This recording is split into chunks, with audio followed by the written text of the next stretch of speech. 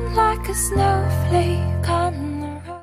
First thing I'm going to start off with is the Masquerade base and I've already done a tutorial showing how to do this and I'll have a link to that in the description box if you haven't seen it already. Now before I do anything else I need to prime this and the reason that I'm going to be doing that is because I'll be using watercolour and this clay is quite porous so I don't want the colour to get sucked into the clay, I want it to still look vivid. So I'm going to be using an alternative to a primer which is just a little bit of white acrylic paint, some water and then you're going to do a few coats. I do three coats over the masks. You could probably get away with one or two but I wanted to do three just to make sure that I'd covered absolutely everything. And you want to clean your brush and apply another coat.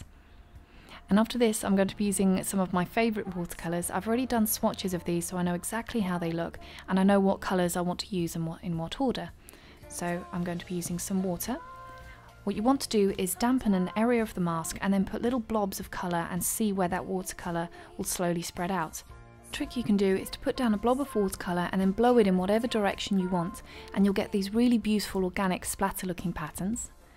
So I'm going to keep doing this and the main thing I'm going to stick to is having that colour focused around the eye and then blow any excess water away from the eye so that it all focuses on the eyes. Then I'm going to take a fan brush, load it up with whatever colour I want, and then I'm going to throw some splatters around the eyes before I go in with some swirls.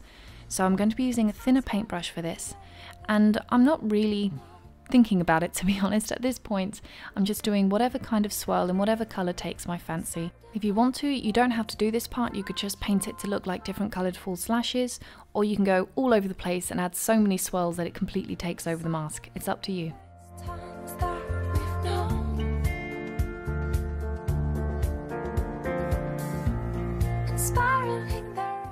Once I've used all the swirls and dots that I want to, I'm going to go ahead and apply a few rhinestones. Of course, if you're not a fan of rhinestones, you can skip this step, but as you know, I am, so I'm going to apply a few.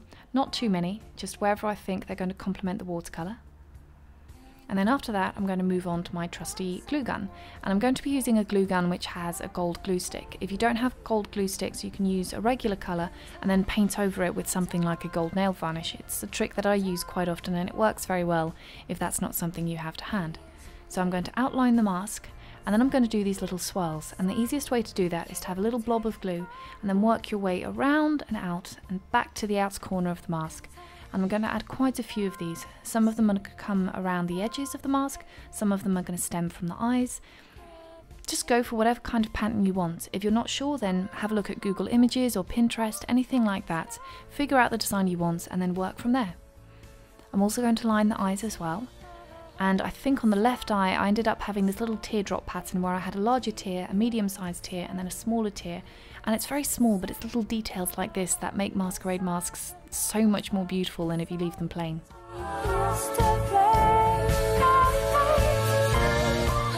And once you've finished with the glue gun, that's pretty much it. When I was making the mask, I already added some holes in the corners so that I could add a thread or an elastic band if I wanted to. But other than that, you're done.